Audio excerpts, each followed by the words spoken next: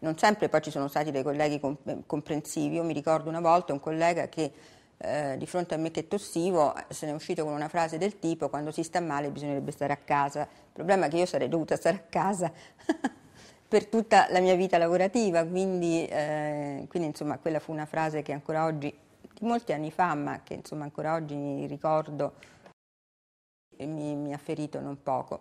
Magari eh, cioè, l'atteggiamento degli altri può uh, essere eh, diverso quando uh, ehm, sono, c'è la mancanza di fiato e una persona uh, si trova a respirare quella, quell'aiuto. No? Finora non, non, ne ho avuto bisogno e quindi diciamo, anche, anche visto dall'esterno l'effetto è diverso.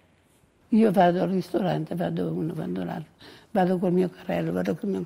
non guardo chi mi guarda, il perché sono così.